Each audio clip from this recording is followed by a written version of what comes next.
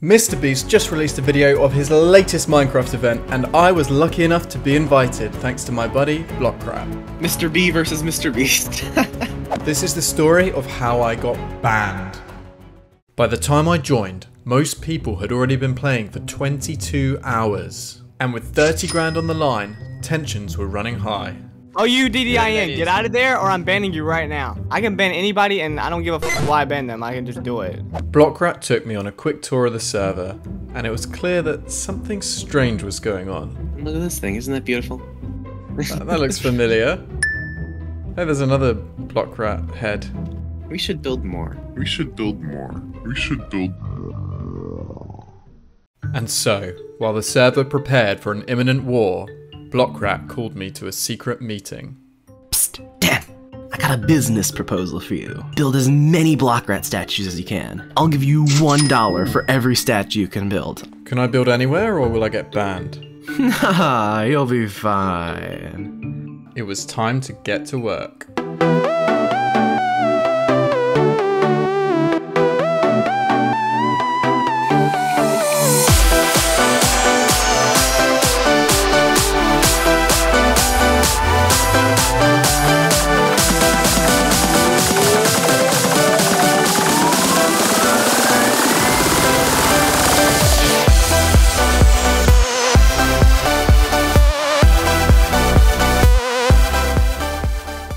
Before long, Blockrat's head was everywhere, and people were starting to notice. Blockrat, why do I see your freaking head everywhere, bro?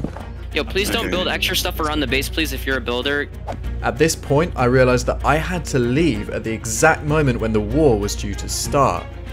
I had nothing to lose, so I decided to go out with a bang.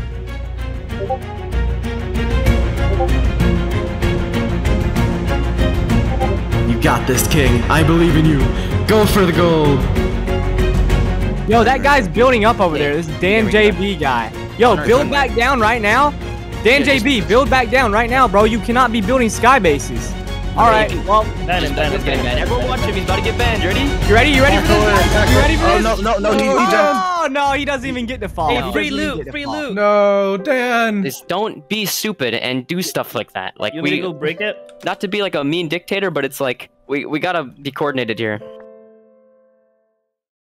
So there you have it. That's the story of how I got banned from a MrBeast event. And just to be really clear, this was a stupid stunt and I totally deserve to get banned. At the end of the day, the organisers are just trying to do their job. They don't want people messing up the event. I apologise to the group and I hope there are no hard feelings. After all, there was no harm done, right?